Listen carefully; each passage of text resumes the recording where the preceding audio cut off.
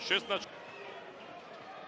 Георгиевски, повторно да до Окиде, сега Филип Лазаров, саме Манасков, чиста позиција, Цепели! Двете крила, ова е уште позначено што го прават.